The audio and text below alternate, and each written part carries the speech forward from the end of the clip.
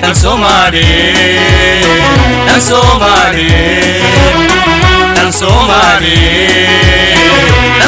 dal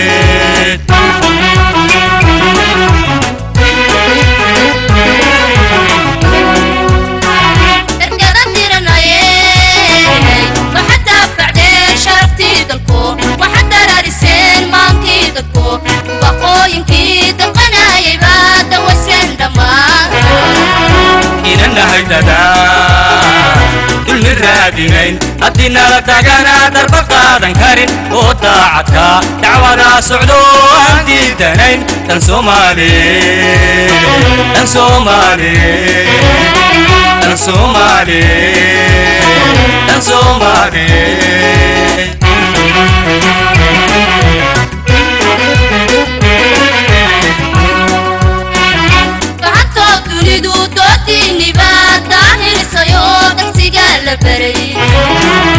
gacantoo dunidu doodiinniba daahirisayo darsiga la baray gacantoo dunidu doodiinniba daahirisayo darsiga la baray aran dib u dhismiyo anan dawladnimo waxuda waroon dedeeraad dadko wax isugu darsada dodinii ahay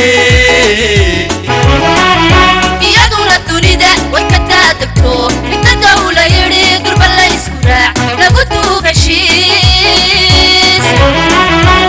aran dib u dhismiyo anan dawladnimo waxuda waroon dedeeraad dadko wax isugu darsada dodinii ahay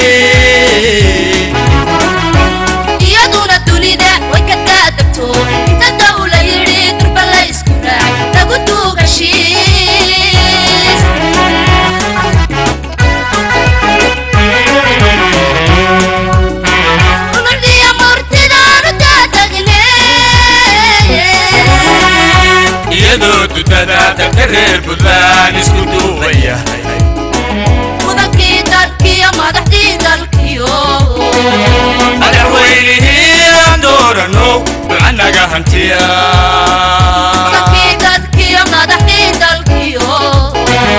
Madaxweynihii aan doorano ducanaga hantiya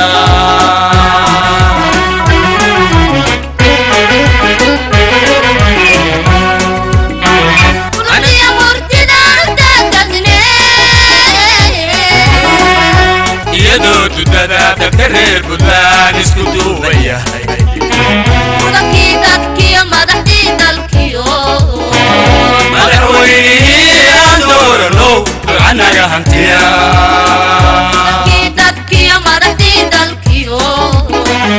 madaxweynihii aan doorano ducanaga hantiya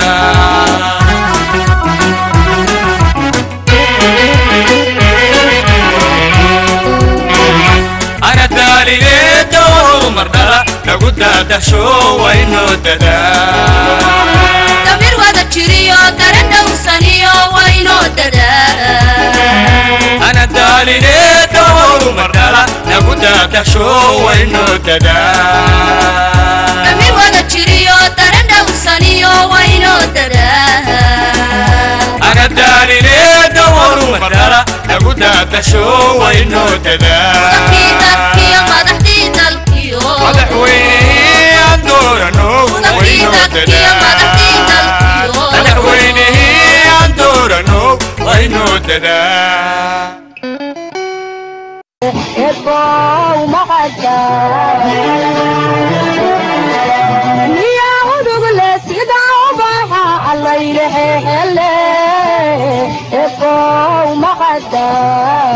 waynoo dadaa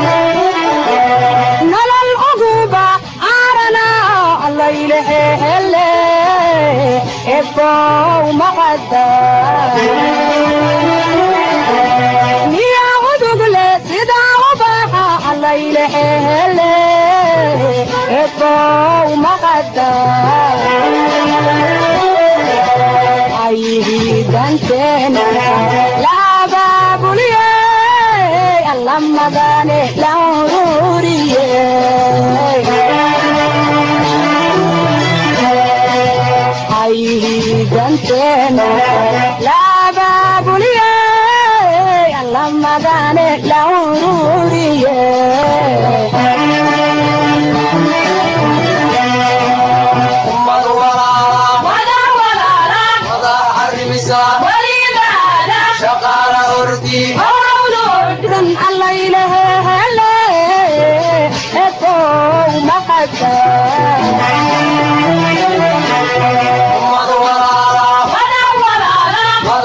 Enemies are uh,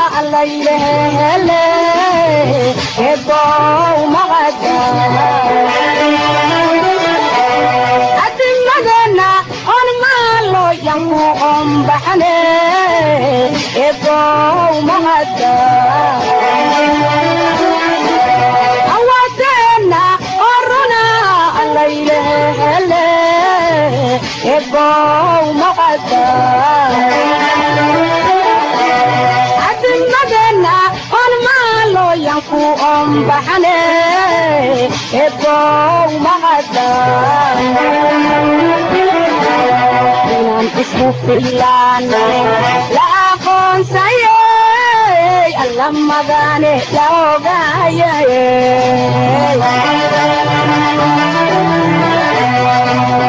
inaan isku filaano la aqoonsayey alla magane la ogayay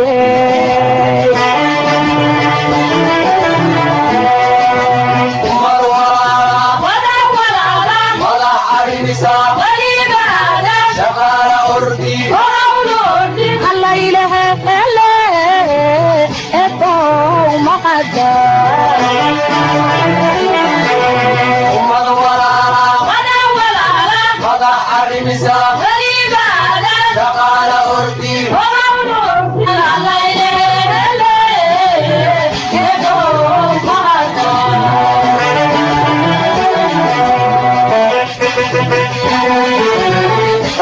Thank you.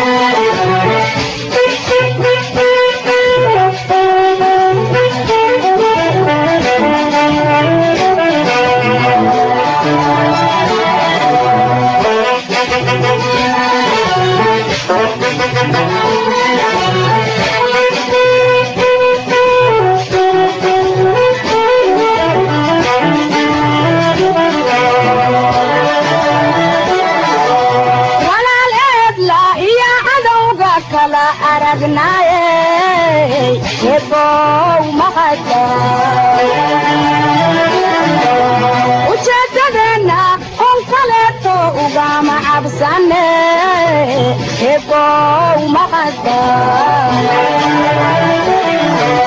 walaal eebla iyo cadowga kala aragnaaye ebow maqada ujeedadeenna un kaleeto ugama cabsane ebow maqada qaryadiyo amaahda ka ajoonayey alla madane istakiidnayey baryadiyo amaahda istakiidnayey alla madane ka ajoonayey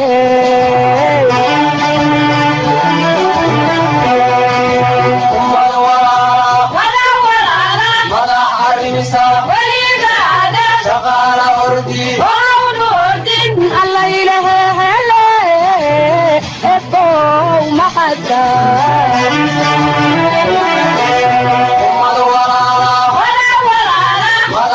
federaalk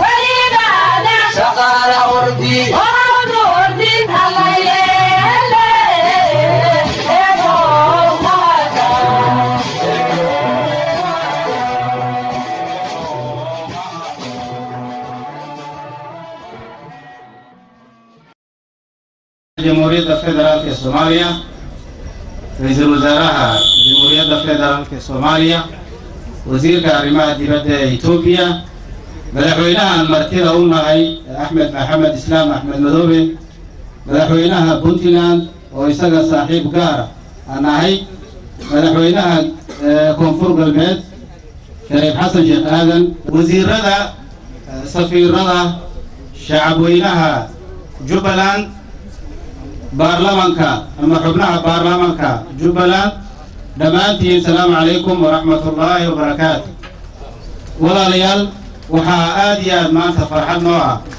Annagu reer jabuuti haddii aan nahay inaan ka qayb qaadanno xafladdan lagu maamuusayo caleemasaarka madaxweynaha axmed maxamed islaam oon aad u soo dhoweynayno waxaanan mar labaadaan caddaynaynaa ummadda soomaaliyeed meel kastoo ay joogaan dadka reer jabuuti waxay u yihiin ehel waxaan mar kasti annagu aan diyaar u nahay inaan la shaqayno inaan wax la qabanno inaan garab joogno mar kasti iyo meel kastoo aan joogno maanta waxaa laga yaabaa inay tahay booqashadeedii ugu horraysay ee ku imaanno magaalada caasimadda ee kismaayo waxaanan rajaynayaa mustaqbalka hadduu ilaahay idhaaho in socdaallada iyadu ay ku fara badan doonaan. Magaaladan lianna magaaladan kismaayo annaga taariikh gaara ayay noo leedahay gaar ahaanna madaxtooyada magaaladani oo ra'iisul wasaarahayagii ugu horreeyey u ahayd meel aw seexdo awna booqasho ku yimiday awna joogi jiray.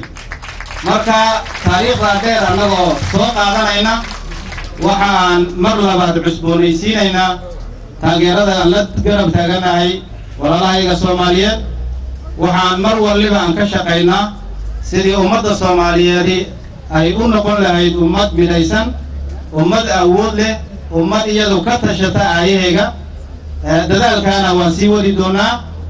Waxaanan mar labaad aan mahadnaq ballaaran u soo jeedinayaa shacabweynaha reer jubbaland. Waxaanan aan mar labaad haddana aan caddaynaynaa inaan ka wada shaqayn doono waxyaabo badan oo noo qarsooni way jiraan oo mashaariica oon dhowaan ku tala jirno inaan ka fulino jubbaland ama kismaayo. Magaaladan caasimadda ah mustaqbalka hadduu ilaahay idhaaho howlahana waan ku dadaali doonaa inaan wax ka qabanno. Munaasabaddu maanta waxa weeyaan munaasabad farxada waxaan mar labaad iyo mar saddexaadna hambalyeynayaa madaxweynaha jubbaland axmed maxamed madoobe axmed islaam waxaanan nii soo gudbinayaa dhammaantiin shacabweynaha reer jubbaland salaan iyo tahaniyad kalgacalnimo oo niiga sido madaxweynaha jamhuuriyadda jabuuti mudane ismaaciil cumar geele. Waxaanan dhammaantiin aan u rajaynaynaa horumar insha allahu tacaala inay ay gaadho dowlad goboleedkani. Federal governmentka soomaaliya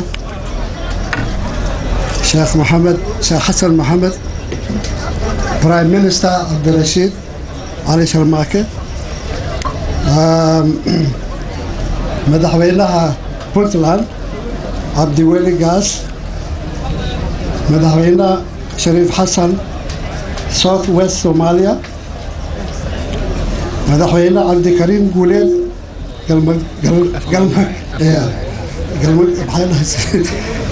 galmaduud state axmed maxamed islam jubbaland minister tedos ethiopia the representative of the un who has just spoken here ani af soomaaliyan ku hadlaya awalan awalan ilaahay baan maxaad uholinaynaa ilaahay ka dambena maxaad maxaad uholinaynaa ummadda waddanka soomaaliya oo maanta madaxweynahayna nala fadho intii madaxweyne ka ah maxay dhahayin region anag region aan waa mahadsantihiin dhaweyska waxaana nala soo dhaweeye anigu jubbaland kama hadlaay region kale kama hadlaay soomaali weyn la hadlaya soomaali weyn waxaan leenahay dhibkii la soo maray intii dowladdii odaygii siyaad bara ahayd la inqilaabe waa wada ogsoon annaga maxaan ogeen calanka soomaaliya oo so- buluuga ah balcaanta markii la guursado gabdhaha markii la guursado maxay dhihi jireen? Ama mara buluugkeen? Haddii kale eena boodaday ma arkaysi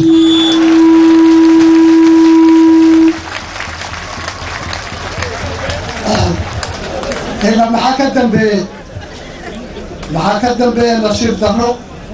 Soomaaliya ay qaxdo. Meel walba meeshii adduunkaleeto ay tageen. Walaalaya walaalaya maxaan iga codsanaya? Sharaftii soomaalida ay lahayd soo celiya. Madaxdiina ka dambeeya. Nin walba madax ma noqoni karo madaxweynaha soomaaliya hal buu ahaanaya intii gobolaha ka imaadeenna midba madaxweyne marka haddii ilaahay laga baqayo soomaaliya waa inaad qabiil ilowdiin nin alla ninkii nin hogaamin karo in aad ka dambaysiin siduu nii horumarin lahay. Hadda maxaa waad ku qabnaa? In baarlamaanka soomaaliya ay ku jiraan ololyo oo madaxweynaha ka qaadi lahayn kursiga maxaan ii leenahay madaxweyne maaha shaar subixii la galshanayo galabteeda la bedelayo. Madaxweyne waa in nafaas la siiyo. Hadda ninka cadaanka markuu hadlay oo ka hadlay twenty sixteen. Haddaad maalin kala cusba aad keentiin twenty sixteen sidee lagu gaari way adagta ninka hadda dowladda gacan ku haayo oo ay qormumaha kala barte madaxda adduunka kala barte waa in nafaas la siiyo. Ani intaas waa adakay kudaya asalaamu calaykum waraxmatullaahi wabarakatu bismillahi raxmaani raxiim aniga waxaan ku hadlayaa af maadaama aan u hadlaya dowladda kenya. Marna waxaan ku hadlay madaxweynaha xasan galamad waxaan ku hadlaya af soomaali islii si kalaa laigu fasiray marka Your Excellency President Hassan al Hassan uh, Sheikh, the President of the Federal Republic of Somalia, Prime Minister Abdul Rashid Sharmarke, Omar Abdul Rashid, Honorable Abdul Wali Gas, President of Puntland, Honorable Sharif Hassan, a very good friend, President of Southwest Somalia, Honorable Abdul Karim Guleit, former minister, Honorable Ahmed Islam Madobe of Jubaland, and we want to thank you for this function.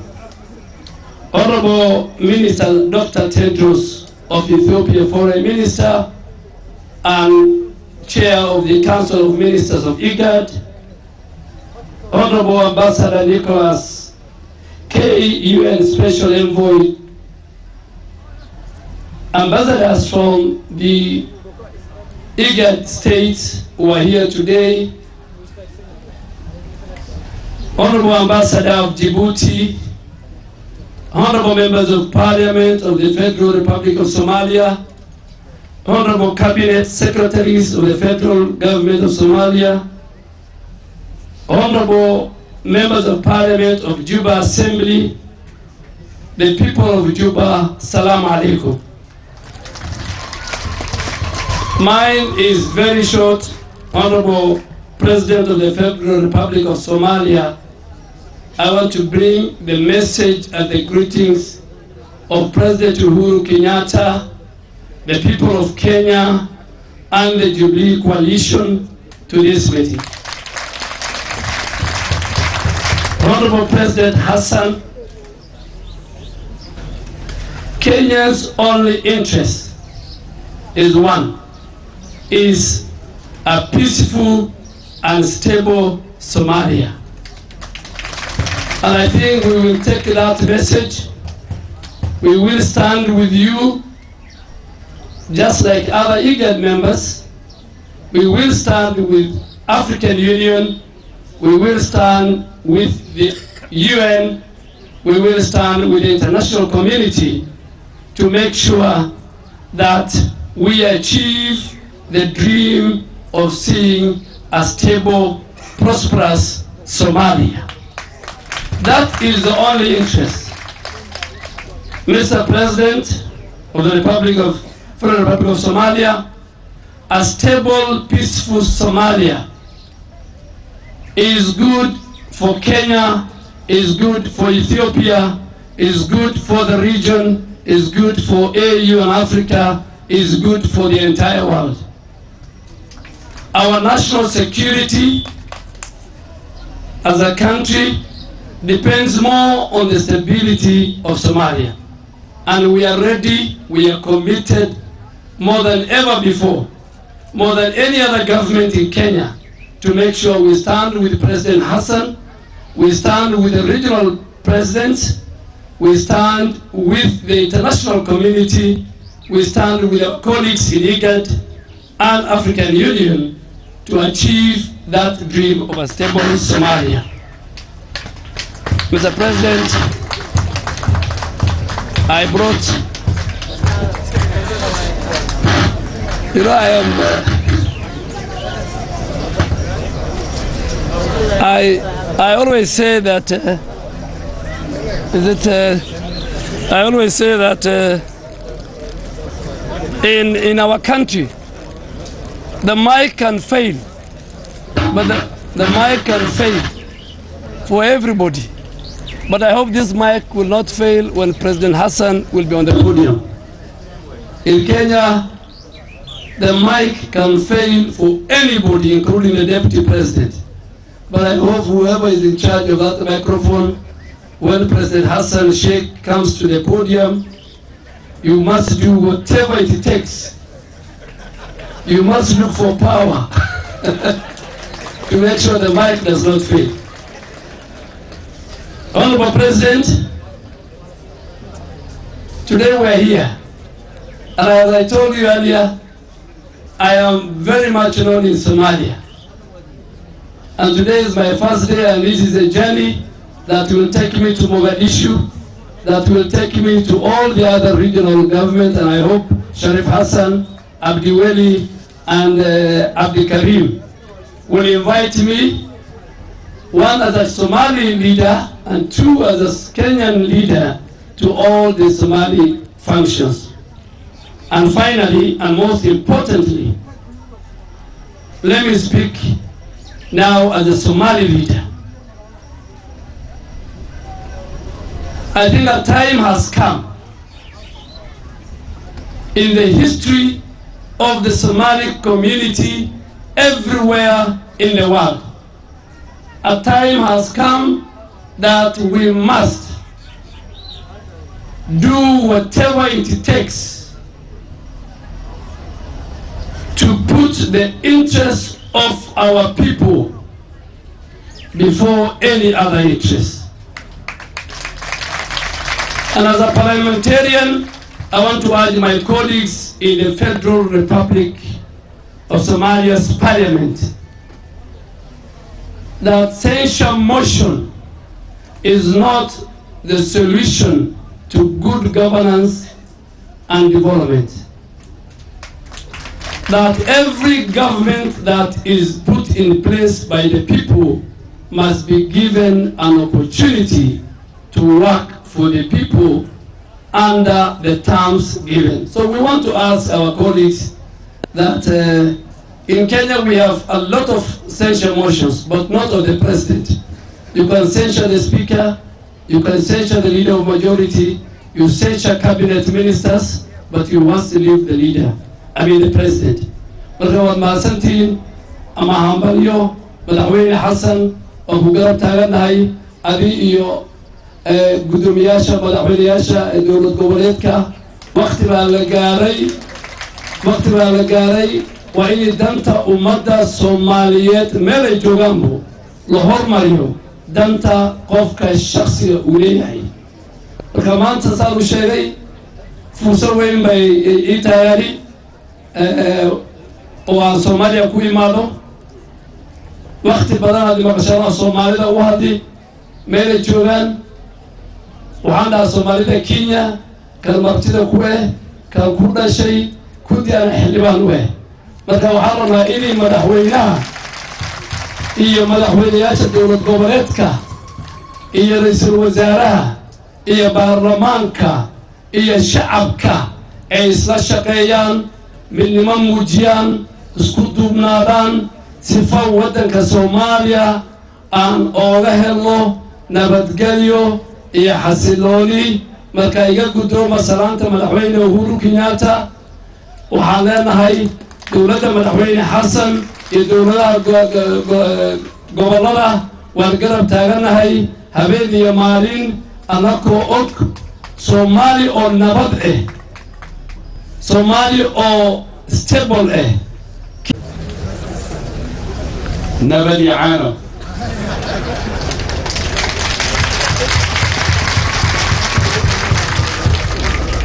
I should um, inform you that Nabadiano is now the official trademark of our IGAD.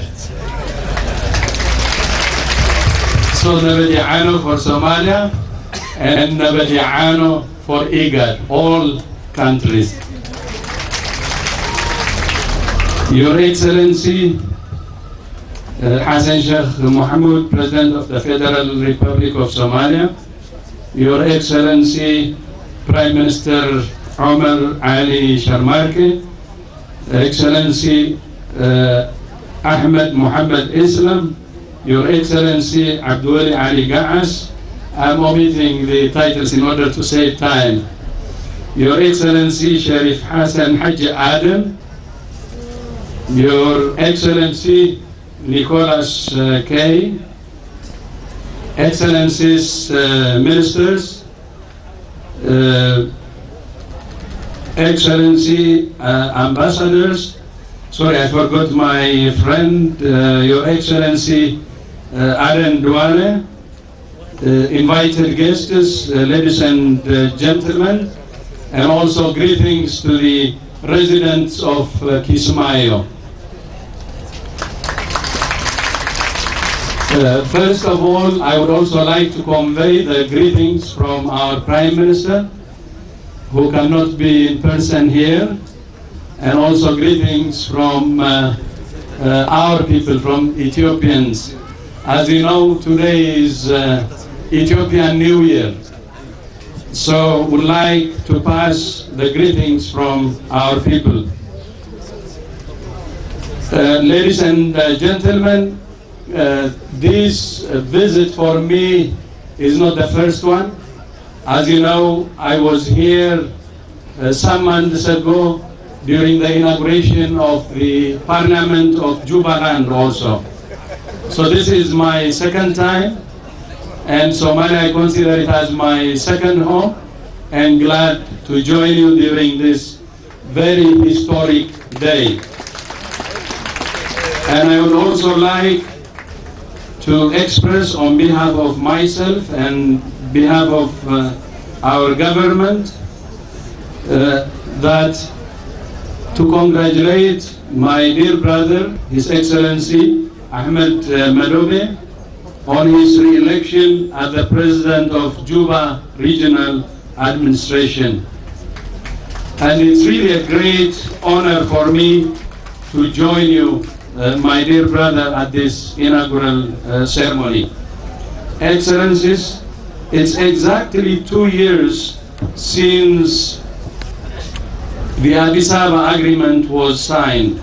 Since that historical agreement, great achievements have been scored in terms of institutionalizing regional federal administrations, both in Juba and other regions of Somalia. In Juba, broad-based reconciliation between communities has been undertaken. Regional parliament is established. Administrative structures have been instituted from region to district level, and the successful consummation of the transition period with the re-election of His Excellency Ahmed Madobe are all testimonies of the achievements of the last two years.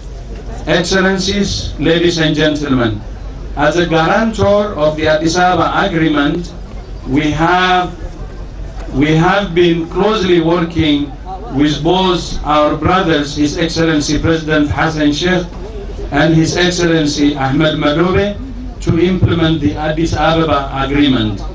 From the outset, we were aware of the complex nature of the issues involved. But at the same time, we were also confident in the wisdom of the two leaders and infinite patience to resolve the seemingly insurmountable problems. We were not disappointed. The two leaders transcended all obstacles and made this historic moment possible. I would like to thank IGAD Secretariat, all my colleagues in the IGAD fraternity, especially my sister Foreign Minister Amina, who couldn't join us today, and our international partners, to mention few, uh, the UN Secretary General Special Envoy, Nicholas Kay, and the European Union Special Envoy, and other ambassadors for their tireless support in this noble journey. From the IGAD Secretariat, I would really be honored to mention my brother Gabre and Ambassador Afe in the front line for their tireless effort and commitment to make this happen. We normally tend to forget those in the front line. The show is only on those who are at the top like me. We shouldn't forget to really celebrate and recognize the hard work of our frontline hard workers like Gebre and Afe. Excellencies, as much as we are satisfied with the achievements so far registered, they should not, however, be a source of complacence. There are some remaining unresolved issues to address and misunderstandings to bridge. This will demand our foresight and common effort to address. The Al-Shabaab menace, though weakened, is still hovering over us like a nightmare.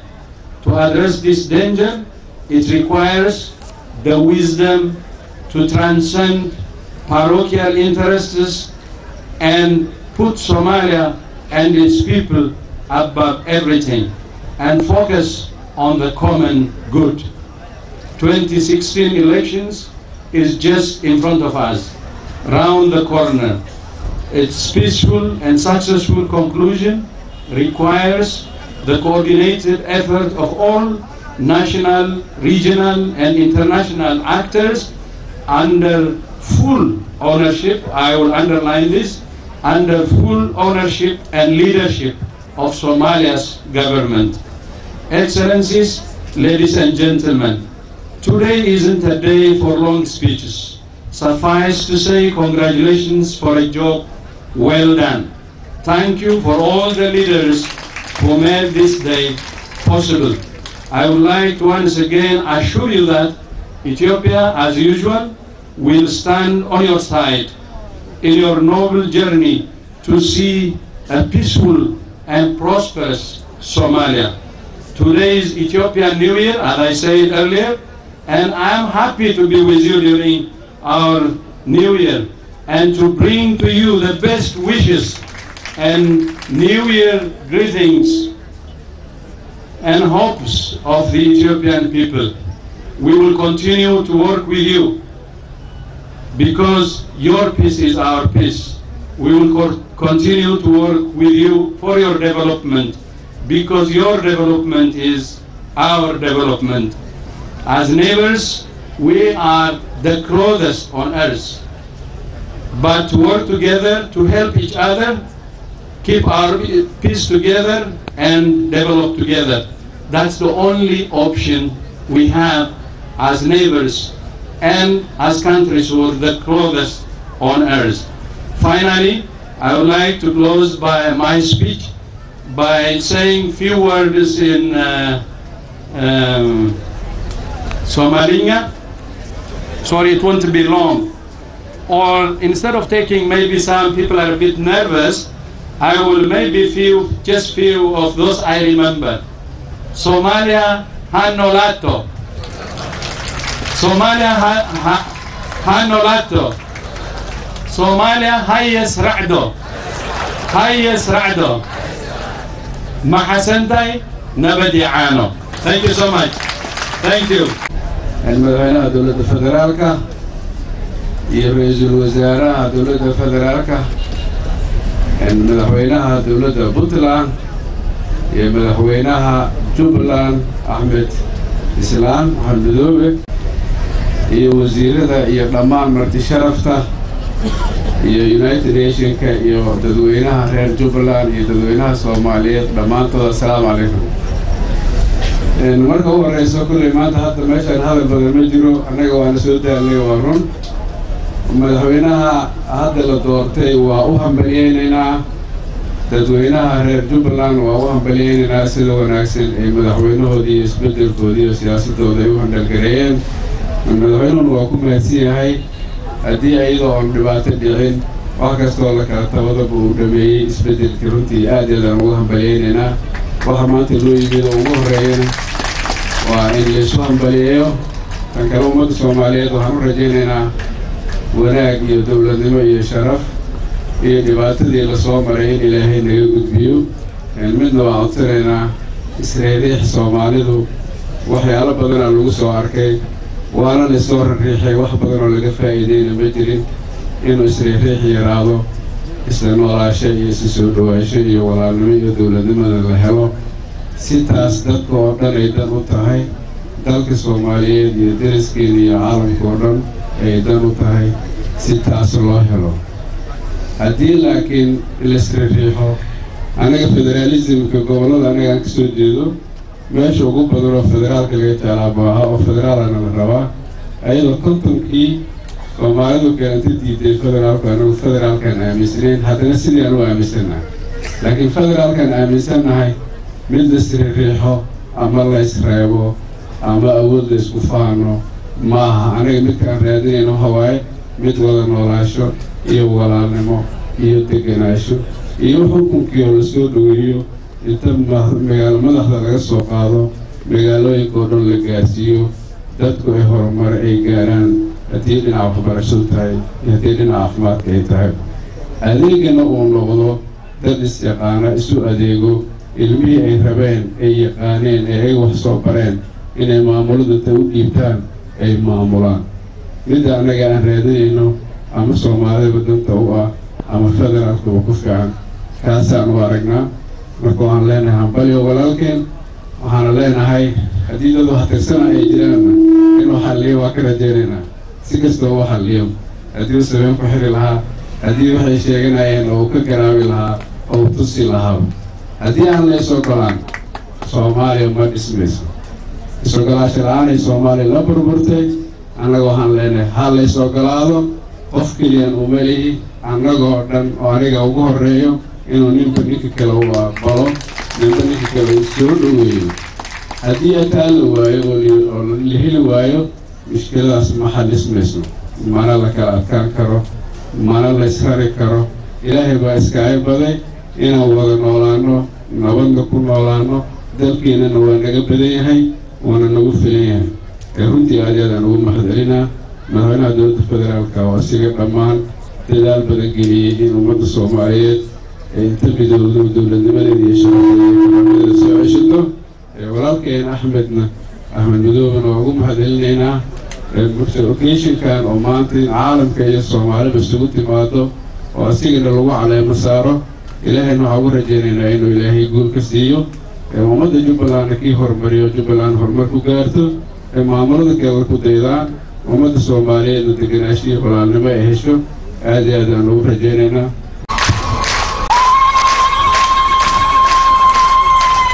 بسم الله الرحمن الرحيم السلام عليكم ورحمة الله وبركاته aad iyo aad ayaan idin salaamayaa iyadoo salaamtaas qof waliba meeshuu leeyahay uu ka qaadanayo sharaf weyn bay noo tahay in aan maanta idinkala soo qayb galno aniga iyo wafdigaan hogaaminayo xafladda calaamasaarka madaxweynaha dowladda jubbaland. Waxaan salaan idinkaga sidaa reer puntland oo dhan dhammaantood waxayna idin leeyihiin hambalyo waxaan u nimid maanta inaan la qaybsano farxadda rayraynta iyo bogaadinta dhammaystirka dowladnimada jubbaland ayaan u nimid maanta.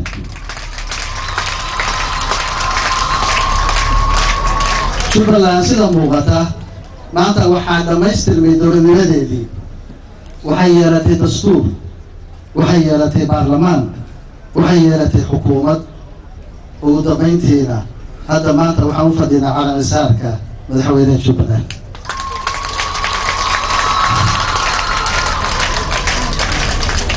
jubbaland iyo madaxweyne axmed madoobe cidda u horeysa ood aqoonsi ka rabtaahi waa dadka iyo shacabka reer jubbaland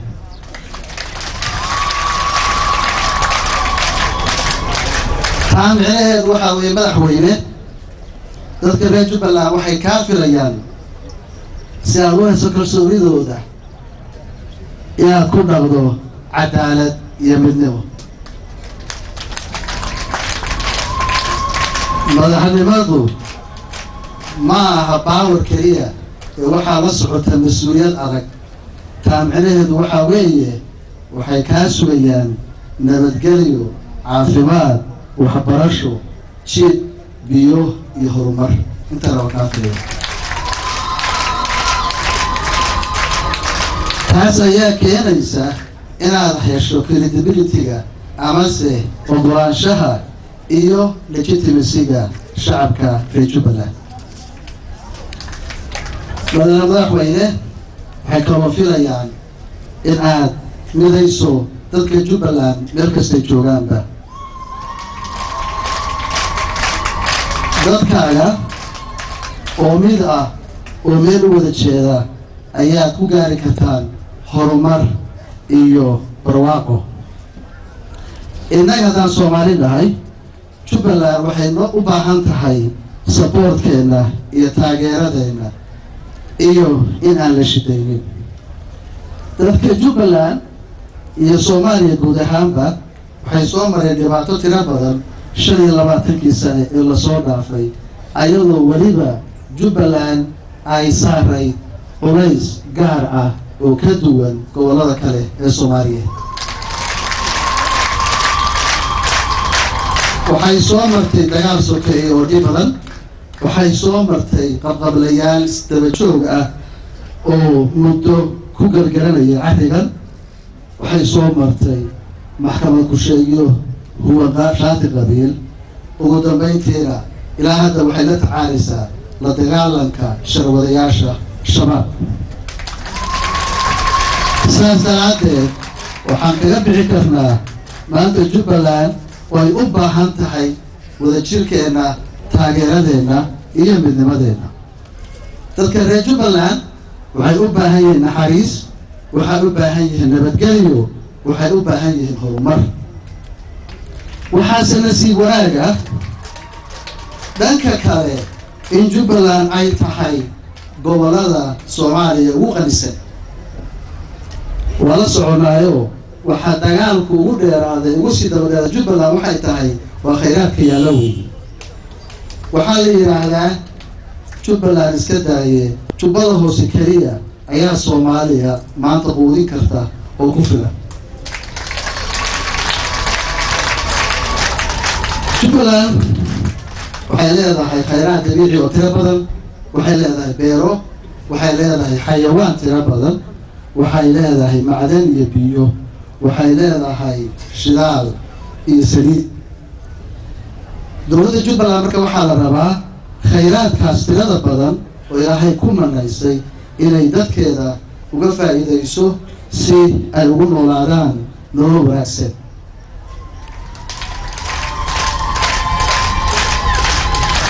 Dhallaanka reer jubbaland meel kasta ay joogaan waxay u baahan yihiin inay ku secdaan nabad kuna soo toosaan nabad.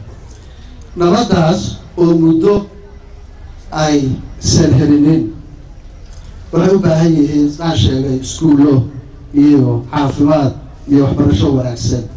Waxay u baahan yihiin inay helaan farxaddii caruurnimo ee dhammaanteed ila soo martay markii aanu koraynay ayay u baahan yihiin.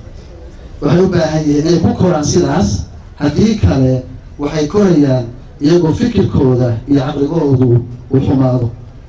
Mudane madaxweyne waxaas oo dhan waxaa aas-aas u ah inaad dhisto oo la dhiso haykal dowladnimo ama institutions aada u wanaagsan inaad dhisto. Ayay waxaas oo dhan sal u ah berrito waa tegaysaa laakiin waxaa dhaxalgal noqonaya waxa aad uga tagto jubbaland bilow wanaagsan ayaa loo baahan yahay. Waxaa la yidhaahdaa su'aaluhu tidhaahdaa wixii alif ka xumaadaa albakro kuma toosaan marka waxaa loo baahan yahay bilow wanaagsan inaan ku bilowno dowladnimada jubbaland. Waxaa tahay maanta ood ku sifoobaysaa aasaasihii iyo buddigihii maamulka jubbaland.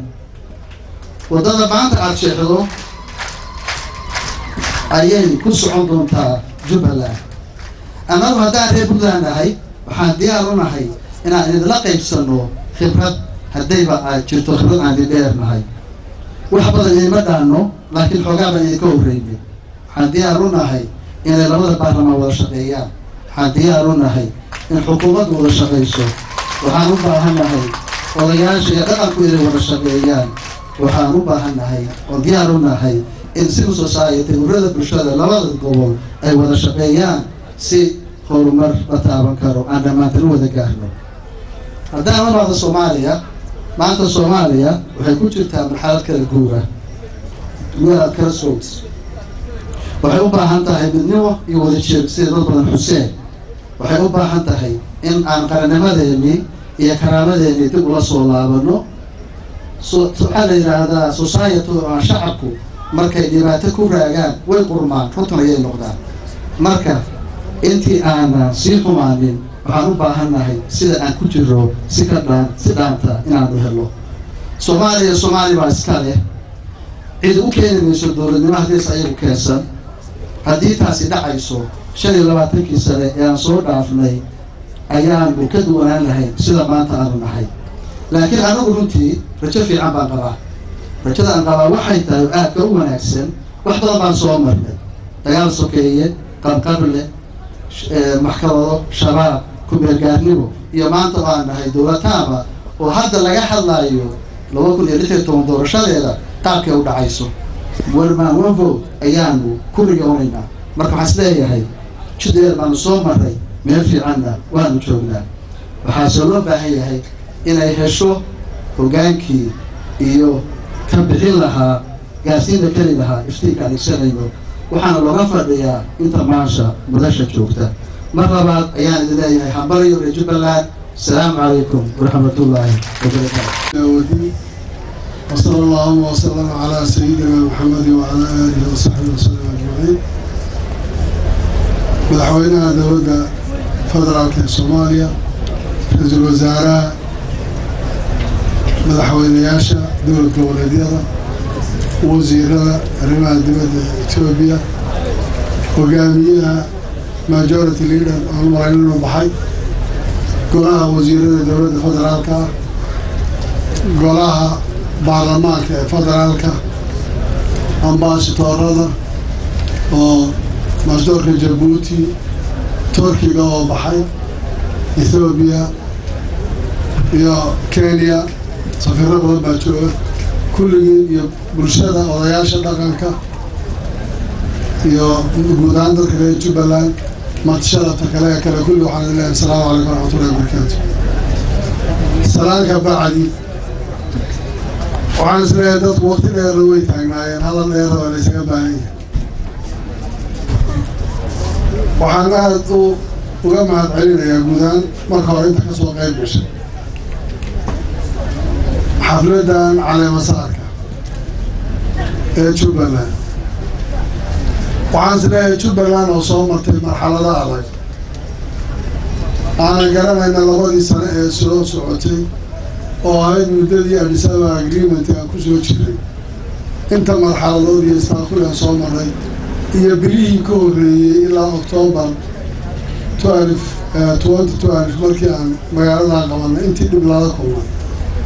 Iyo maanta nin kastoo shalay isbeddelka uu arkaya intuu leeyahay oo wax marka hore ilaahay loogu mahadiyo subxaana wa tacaala isagaana mahadda iskale brosesska dheereen soo maray ee reer jubbaland soo mareenna wuxuu ahaa mid adag. Waxaad garanaysaan sida walaalahaygii ugu horreeyay ka hadlayeen jubbaland inay ahayd meelaha dagaalkii sukeeye ee soomaaliya. Uu ugu adkaa sababtoo ah waan ka hadlaynay in badanoo waxaa ka mida waxay gundhig u tahay ama shacabka degan oo fara badan oo wada degan ama khayraadka gobol ahaan lagu tuumayo ama admaacda kale badan ee ku jirta damacyada lagelaya marka la isku dardaro inay ahayd meesha dagaalka sokeeya ugu badan yahay soomaaliya oon is leeyahay xataa muqdisho iyadaa ka badan laakiin waxaan isku dayaynay fadradii hadda aan joognay inaan isku dayno bal in la helo system iyo maamul. Dadka reer jubbaland ay ku wada noolaadaan ay ku degaan aan taariikh bilaawa u samayn. Waxaan in badan hore ugu qiray oo aan hore ugu sheegnay haddii jubbaland ay degto oo stable noqoto ay lugaha dhulka saarto xalka soomaaliya in si kulle loo heli karayo taasaan aada u dareemaya sababtoo ah waxaan marar badan u sheegnay waa gobolka ay ugu badan yihiin majority soomaalidu deegaan ahaan een is leeyahay qof kasta oo soomaaliya maanta waa laga heli karayaa gees kasta uu jooga haba lagu kala badnaayo taas macnaheedu wuxuu noqonayaa haddii halkaani ay degto in guud ahaan soomaaliya ay karayso. Heshiiskii adisababa agreementi oo aad garanaysaan waktigii uu soo bilowday maantana ay nala fadhiyaan oo nagala qaybgalayo galantoorkoodii oo ahaa igad jeer wasiirka tallos iyo tiimkii kale ee ka shaqaynayay oo cidda wada hadlaysa ay dowladda federaalka iyo maamulkii markaa ka jiray ee kismaayo ama jubbaland inuu maanta conclusionkiisii gaadhay maanta inay deganaansho iyo system ay gaadheen reer jubbaland oo dhammaan wax alaaliyo heshiiskaas uu ahaa ay soo dhammaystirmeen oo maanta ay leeyihiin baarlamaan dastuur madaxweyne la doortay system la dhammaystirayo taasoo macnaheedu yahay inay kaga baxayaan ereygii ahaa interim juba administration ama maamulkii kumeel gaadhka ahaa sababtaa broseskii loo oo dhammaysan waxaan leeyahay dowladda federaalka oo aan muddadaa ka soo wada shaqaynaynay xaqiiqahaan iyadoona juhdi badan ay gelisay waan u mahad celinayaa madaxweynaheeda iyo ra'iisul wasaaraha iyo xubnaheeda kalaba oo aan garanaya culayska soomaaliga kale ka saaran iyo xaaladdu siday tahay marxaladda maanta aan ku jirnay iyo sidii looga bixi lahaa iyo qaabkay tahay haddaan intaa kaga gudbo waxaan is leeyahay maanta keliya ma aha inaan u joogno xaflada caleemasaara laakiin soomaaliya guud ahaan waxay u baahan tahay xal. Waxaan u baahannahay tallaabo kastoo hore loo qaadi karo in loo qaado. Waxaan u baahannahay maanta in dhismo soomaaliyeed intii la helo. Suurtagal ma noqonayso keliya dowladaha deriska iyo amisom iyo ciidan loo jooga iyo sidan inaan ahaano ku sii jirno oo maalin walba ladhaa ciidan baa la bedelay ku kalaana soo bedelaya oo maalin walba aad ogtihiin hadda intii ugu dambeysay ciidamada amisom la jooga inta badan dhibaatadii gaadhay iyo dadkay ku waayeen iyo dhiiggoodii meesha ku baxayn aan u baahannahay bal soomaalinimo iyo soomaaliya xalkeediisaan ku gaarnahay iyo si aan inagu intaan isugu duubnaano midnimadeena u ilaalino waddankeena aan u difaacan lahay kuwa inaga soo horjeeda sharwadayaasha ee nabaddiidyadaana wixii dagaal mudan aan ula dagaalami lahayn. Wixii u baahan in la soo dumo oo laga soo celiyo maskaxda loo dhaqan aan ka soo dhaqi lahayn. Soomaalina aan midnimadeeda iyo walaalnimadeeda raadin lahayn waxaa xaqiiqa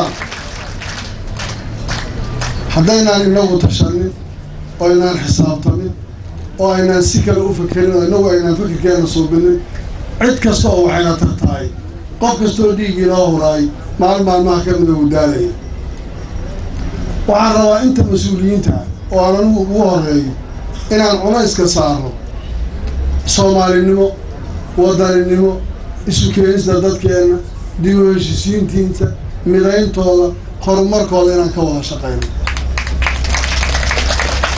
Ayna noqonin fikirkeenna iyo culayskeenna kuraasta aan ku fadhino berri maxaan noqon doonaa? Beldama maxaan noqon doonaa halkee horay inoo halkee gadaalino aan prioritiga saarno soomaali maxaanu qaban karaynaa. Qof walbana kursiga uu maanta ku fadhiyo uu muhiimadda ka siiyo waxa maanta mujtamacu uga baahan yahay. Mujtamaciisa waxa uu qaban lahaa. Maxaa taariikhood ka tegaysa maxaa isbeddeloo keenaya? Taasaan u baahanay inaan ku soo jeedo. Shacabka soomaaliyeed waxaan isagana odhan lahaa haddii ayna jirin kalsooni wada shaqayn qofkaan laftirkiisa taageerada siiyo mas'uulkaa oo lagu taageero waxa uu isagu markaa qabanayo shaqada uu ku jiro oo kalsooni darre iyo qalad uu xagga dambe ka haysto way adag tahay qofku inuu gaadho waxa uu doonayo.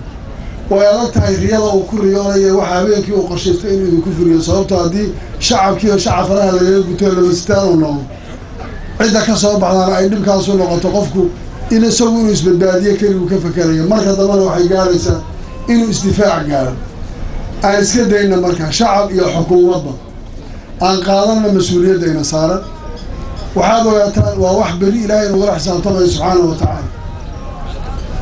Waa wax xisaabtankeeda aan berri gelayno waa wax shacabkuna inagula xisaabtamayo ilaahayna nagula xisaabtamayo. Aan isku dayna inaan wax badan badbaadino waxaan rabaa haddaan ka hadlo jubbaland marxaladihii aan soo maray waan ka hadlay. Waxaan u baahannahay wixii hadda ka dambeeya kow shayga ugu horreeya inaan marra ka tegin dib u heshiisiin aan marra dhammaanayn. Gogasha reer jubbaland waa mid mar walba fidsan. Waxaan diyaarinahay cid kasta oo wax tabanaya oo wax ku jiraan oo reer jubbalanda inaan qancinno geedka u fadhiyo ugu tagno gurigiisa ugu tagno raalli gelino qancinno tabashadiisa hadday mid khalada tahayna aan u sheegno khaladkay tahay. Hadday mid saxa tahayna laga qanciyo uu xaqu leeyahay la siiyo. Waxaan ka shaqaynaynaa qodobka labaad inaan xorayno deegaanka maqan ee gacanta shabaab ku jira oo amniga iyo xasilooniya dadku la soo celiyo. Maanta maamulkan jubbaland ee hadda kumeelgaalka ka baxay caasimadii uu ku shaqayn lahaa bu-aala weli gacanta shabaab bay ku jirtaa. Gobol gobol magaalooyinka magaalo magaalo u socon kartaa ma jirto.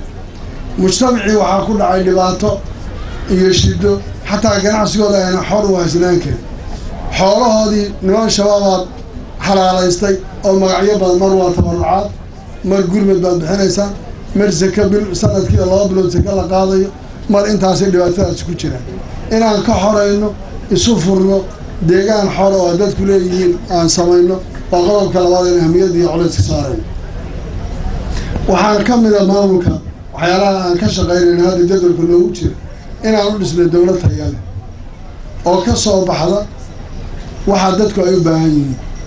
Waad ogtihiin magaalada hal wadaa ku taalla hadda aan joogno iyadoo ah magaalooyinka ugu barwaaqada badan soomaaliya. Iskuulladii way baabeen iskuullada ka jira waa iskuulla baraay badan dallado dallada waxbarashada sida ururka hebel ururka hebel ma jiro. Instituushonadii waxbarashada iyo wasaarad iyo system waxbarasho oo dowladdu ay leedahay isku xidhani ma jiro. Waxaa guud ahaana soomaaliyan la qabo waxaa jira isbitaalladii oo yar. Magaalada hal isbitaal baa ku yaalloo weyn. Waxaa soo raaca m c h a iyo meelo yaryaroo baraay badan inaan caafimaadkii ka shaqeyno. Oo maanta hooyada umulaysa ay hesho meel ay ku umusho. Ilmaha xanuunsadaa uu helo meel lagu daweeyo. Wiilka dhaawacma uu helo. Caafimaad uu helo. Waxbarashaduna sidaasoo kale ay noqoto. Waxaa inta badan maanta ilmaheen ku kalifaya inay shabaab raacaan ama wax kala raacaan. Qofku markuu quutalyo daruurigii waayo oo uu raashinkii iyo biilkiisi iyo noloshiisii waayo. Waxbarasho iyo aqoon iyo meelu ku mashquulana uu waayo inuu intuu fiidiyoyada wax ka fiirsado uu ku ta'asuro oo qaarkood ay u galaanba sida filmadii inay u jiraan waxaa duruuf iyo dan baa keenaysa. In laga gudbiyo arrintaas oo dadku waxbarashadii loo diyaariyo iskuulladii la helo jaamacadihii la helo la hormariyo ay noqoto dadku waxa ay ka shaqaynayaan inay noqoto inay waxbarasho helaan hooyooyinku inay helaan. Qiyaas dowladnimo xilligii ugu dambeysay dhowr iyo labaatan sano markaad ka soo gudubto waxaa maanta meesha yaallay ilmaha xilligaas toban jirka ahay ee maanta dhowr iyo soddon jirka oo mujtamaca tirada ugu badana xaaladdu maanta ku jira waad garanaysaa. Iyo sida uu ku sugan yahay. Waa arrin aad garanaysaan inay aada iyo aada dhibaato u tahay. Waxaan rabnaa inaan waxbarashada culayska saarno oo aan dib ugu noqono oo dadku xataa dowladnimo ma garanayaan. Ninka shan iyo soddon jirka ah ee toban jirka ah maanta dowladnimo waxay tahay ma garanayo dowlad wuxuu u yaqaanaa waagii hore kaaba qabiilkooda hogaamiye kooxood reerkoodu lahaa nin ganacsado staaflo reerkooda odayga dhaqanka intaas intaas u yaqaana waa in dib loogu soo noqdo dadku ay helaan mataqaanaa dowladnimo iyo balay aqoonsaan ilmahaas waxbarashada loo abuuro. Sistamka dowladnimada dib loogu soo celiyo. Waxa ayaan daraan waxaa hadda la helaa scholarshipyo oo jaamacado dibaddaa laga helaya dhibka jira wuxuu noqday waxaad arkaysaa hal sano oo form one form two form three form four lagaga baxay. Waa hal sano. Ilmahaas maxaad maraysaa waxbarashadiisu intee leeg bay gaaraysa hal sanaa lagaga baxay. Afar fasal buu ku maro dugsi saraa beri jaamacad buu u geystay application. Garaadaha iyo markskuu qoranayo sikiiga wixii la doonaa ku qoran wuu tegayaa. Imtixaankii ugu horreeyo kama baxay. Sicir badarka ku dhacay bay ka mid tahay. Waxbarashadiibuu ku dhacay oo waad garanaysa anigu waan garanayaa xilligii hadda la qaxay. Markaan hadda silbiska manajka waxay loogu dhawaa kenya haba lagu dhinto soomaali laakiin markaan maadooyinka qaarkood fiiriyo iyo iskuullada kale silbiska laga qaadanaya manaahijteena ka awood badnay. Ma aha luuqadda waxbarasho ma. Caafimaadkii baad arkaysaa hadda tamaashiir iyo waxa baa kaabsoolka laga dhigay waxa laysu soo waxeeyay waxa ay soo martay aniga.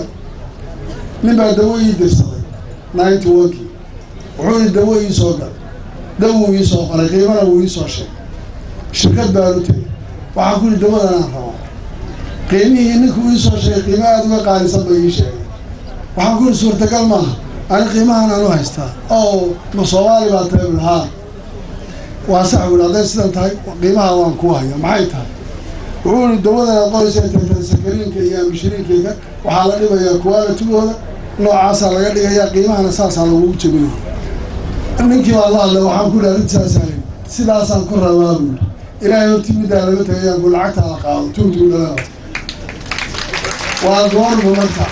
Waa ninety sagaashan iyo kowdii wey sagaashan iyo kowdii markana lagu bilaabay in tabaashiir lala soo qooyo oo lagu soo shubo kiniinka kaabsoolka intii la kala furo. Tabaashiir lagu soo daadiyo maanta xaggee marayna waad malaynaysa. Nin dhaktara la ii sheegay xawalo kiniinka hal xaba meesha ka qaadaya shan xabuu leeyahay sababtoo tayadiisa haya. Shan xaba ka dhigo dawada quality ma haddii mid quality la keeno waxaa laga yaaba de qofkaas uu ku dhimanaya sooma waxaan u baahannahay in dib loogu noqdo oo caafimaadka iyo waxbarashada iyo waxyaalaha lafdhabarta halbowlaha dadka ah oo ku jirta nolosha iyo jiritaanka in dib aan u saxnaan doonayna waa laga yaabaa dad badan inay nagula colaatamaan waa laga yaabaa dad badan inay nagu soo fiirinayaan. Waxaan u baahannahay arrintaas sida ugu fiican ee aan uga gudbi karo insha allah inaan uga gudbo waan uga baahannahay dowladda federaalka iyo dowlad goboleedyada kale iyo kulli inay cid waliba nagu caawiso tallaabadaan qaadano oo aan iskaalmaysano qof isku filaan karaana ma jiro. Annaguna waxaan diyaar u nahay hadday noqoto hal tallaaboon cid ku dheerna inaan ku caawino haddii lahayna waa nasiib fiican in maanta ra'iisul wasaarihiina fadhiyo madaxweynihiina uu fadhiyo. Mas'uuliyadda soomaaliyana maanta idinka ay saaranta marka laga soo tago midda annaga gooli noo saaro ilaahay uga cabsada mas'uuliyadda idin saaran waa laydin kula xisaabtamayaa beri xisaabtan bay gelaysaa hadduu fakarkiina noqdo mooshin baan iska difaacaya iyo mid kalaan gelaya. Oo kuwan baarlamaanka ana ay noqoto waxay ka shaqeynayaan mooshin iyo maanta kana aan ka keenayo noocaa noqoto. Waa arrin aada iyo aad muusif u ah oo aada u waxaysa. Waxaan odhan lahaa qaabta mas'uuliyaddeeda aan raadinno soomaali aan ka tashanno waxa inagu aan isu qabno iyo nin waliba hadduu nin kale walaalkiiya wax ka tabanayo laysa saamax maxaa dhiboo ku jira. Yaa haddii lays cafiyo ma baa jira tusaalaan idiin sheegaya nabi maxamed ba calayhi salaatu wasalaam isagoo masaajidka kala fadhiyo wuxuu yihi nin ehlu jannaha halkaa ka soo gelayo nin baa soo galay. Rag badana saxaabada arkaya maalin labaad ba haddana sidoo kale isla ninkii baa soo galay maalin saddexaad ba haddana yidhi isla ninkii baa soo galay. Nin saxaabiga wuxuu go'aansay ninkaani waxa uu ku noqday ehlu jannada inuu ogaado. Wuu weydiistay inuu la baryo wuu la baryay wuu la seexday habeeno ninkii salaatuleyl badan kuma arko quraanaqsi badan kuma arko cibaado badan uu ka waayo wuxuu niyo nabi maxamed caleyhi salaatu wasalaam intaasoo goorbu wuxuu ku celiyay in ehlu jannaha hiddaa ka soo gela adiga ah kumana arka camal badan maxay tahay? Sababtaas ku muntaysan wallaahi wax kale ma garanayo buuri keliya kuma ana seexanin buuri hal habeen anoo qof kale wax ugu qabo. Ina wax anoo cid kale u qabo ama cuqdad u qabo. Ma ana seexan haddii la iscafiyo ninba ninka kale iyo wuxuu ka tabanayo oo weliba qoladiina xamar ka timi baarlamaanka iyo madaxda iyo kulli la iscafiyo waxaa dhigo bes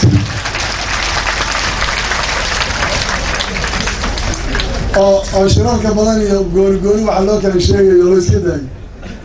Waxayna tahay in la iscafiyaay horumarkay ku jirtaa aan xisaabtana ceeb maaha anoo ogolaa in layla xisaabtamo tallaabadan qaadi la weydiiyo kan. Laakiin fadeexadu sax maaha xataa marka laga naseexanayo diiniyan waa in hoos laygu sheego oo si edab iyo akhlaaqda laygu sheego. Lakin haddii aan maalin walba midda kale saxaafaddii waxay noqotay wax la iska radiyo. Nin walba ninka kale wuxuu doono saxaafadda ka sheego. Anigu marka saxaafadda maanta iyo beri layga caayo beri ana isdifaac baan gelaya soo mogi nimankaa saxaafadda waxaa ka wada nama isdifaacaya beri markaa yooyootol baan samaynayna waxayna tahay ciddii wax kala qabtay wax kala sheeganaysa hoos baan u dhahayna gacmo geli jiro kor looga dhaqeen aan ku soo gebagabeeyo waktiga oo yar aad baan ugu mahad celinayaa. Guud ahaan dowladaha geeska africa gaar ahaan dowladaha ay ka joogaan ciidamadu soomaaliya oo maalin walba hadda waxaa ugu dambeeyey uganda. Maxay ku dhinteen? Waxaad malaysaa kambaale inay uga yimaadeen inay seexseexdaan soomaaliya kuwii ka horreeyey baa burundi ahaa etoobiya ka horreysay kenya ku jirta burundi baa joogta siraleon baa joogta intaasoo dhan maanta waxay u waxaysay inay mudan yihiin in looga mahad celiyo dhiigooda ay u hurayaan ee ay doonayaan soomaaliya oo degana maanta inay helaan nabada waan u mahad celinaynaa guud ahaan dowladahaas gaar ahaan cid kasta oo ciidan intay keeneen wax kaga dhinteen waxaan leenahay dadkooda sabiriidan allaha ka siiyo waano iyo talo waxaa inoogu filan soomaali guud markii laga hadlayo. Ereygii uu musey maxamed yuusuf ka lahaa. Gabadha soomaalida ee la gursay waxaa loolan jiray mara buluuga ii soo gal wax sahlan maysan ahayn hadda maradii buluugaad in laga carraso dhulkeeda mala marada waa in lagu soo noqdo oo ereygii xaajiga aan laga tegin. Aad baan idinku mahad celinaya guud ahaan waan ku faraxsanahay martida naga joogtana caawa inay noo bari doonaan in diyaarado la waayo oo diyaarado waktigan kici waayaan la isla baryo aad baan ugu qanacsanahay tadros inuu caawa baryo inuu baryo. Aadan ducaale inuu baryo oo kulli la wada joogo. Asalaamu madaxweynayaasha gobol-goboleedyada ugu horeeyo ninkaan martida u nahay cabdisalaam dilkaana dada etoobiya tedros aadan bare yuusuf xaaji dhammaan baarlamaanka qaranka soomaaliyed waxaa jooga wasiiradii shacabka reer jubbaland. Waxaan idin leenahay hambalyo runtii waxaan bogaadinayaa madaxweynaha la doortay iyo shacabka reer jubbalandba yacni juhd juhdigii ay geliyeen in ay soo gaarsiiyaan maanta meeshay taagan tahay arrinta runtii maanta waxaa leedihiin madaxweyne la doortay baarlamaan yacni nabad marka waxaan rajeynayaa ilaahay idin ka baryaa in meeshaasi hor ka fiican gaartaan. Waqti waa soo waa soo yeelanaya waqtiga sababta ah khudbadii dowlgoboleedyada waa qaatay. Marka waqtigan waa yeelayahay waxaana hal midheeno runtii wadane axmed runtii wuxuu ka mid yahay rag loo xasuusan doono halka kan inuu ahaa asaasayaashii dowlad goboleedka jubbaland waa rajeynayaa inuu noqdo ninka ummadda mideeya insha allah wax badan oo la kala tabanayaa jira soomaali wixii soo dhacay darteed ilaa annaga aan ka gaarayno hal qof hal cod waxaa loo baahan yahay wax badan inaan xeelino runtii dadku waa inay iska dhex adkaan shaashadda waxaan u soconnaa annagoo dhan in loo dareero hal qof hal cod marka inta laga gaaray waxaan u baahannahay inaan runtii dadka isku wadno mas'uuliyadda ma mas'uuliyadda maanta saaran walaalkay axmed madoobe iyo madaxda waxa weeye idinkoo tiimar goonida ah fiirinaya oo runtii ku dadaalaya waxna ka qabanaya. Hadduna mas'uuliyad kale aada saaran oo ah kalalka soomaaliyad la soo cesho. Waxa aan annaga qaadan waxa waye federal system oo annaga qofkeenna uusan horay ugu dhaqmo ma aha inay warkaabto inaan dhisayna annaga shan qaran waxaan dhisayna hal qaran waliya. Qarankaasaan rabaa inaan ummadda ku midayno ayadoo dowladgoboleedkana ay gaar u tahay waxyaabaha gaarka ee dadku adeegyada ay ka uga baahan yihiin. Runtii mar rabo inaan ku fogaado waqtiga. Waxaan rabaa inaan bogaadiyo mar kale. Madaxweynaha jubbaland iyo shacabka jubbaland waxaan rabaa inaan halkan ku soo dhaweeyo madaxweynaha jumhuuriyadda federaalka soomaaliyeed isagoo aan filayay inuu noo soo golaadin doono بسم الله الحمد لله والصلاة والسلام على رسول الله السلام عليكم ورحمة الله وبركاته سلام كجدال wax badan oo munaasabadda maanta ku habboonaa waa laga yiri halkan haddii ay tahay marti sharaftii ka soo qaybkii xafladda iyo madaxdii soomaaliyeed ee heer federaal iyo heer dowlad goboleedba lahayd wax badan oo wanaagsan oo ku habboon munaasabadda waa laga yiri halkan waxaanan is leeyahay ku dhaqankeeda unbaa yaa aad iyo aad muhiim noogu ah. Sida ay tilmaamayso maanta munaasabadda aan halkan isugu nimiday waxaan rabaa inaan ku bilaabo hadalkayga hambalyo aan u hambalyaynayo madaxweynaha la doortay axmed maxamed islaam iyo dowladda puntland jubbaland iyo hay'adaheeda kala duwan iyo shacabkeeda guud ahaan oo aan leeyahay nidaamkii dowlad dhisidda soomaaliya tallaabo muuqato oo la qaadi kara ayaad horay u qaadeen hambalyo dhammaantiin waxaan rabaa oo keliya in aan maadaama waqtiguna wacaad iciidu yahay gabaldhac ay tahay dadka reer jubbaland iyo mas'uuliyiinta reer jubbaland inaan hal mid aan la wadaago oo keliya.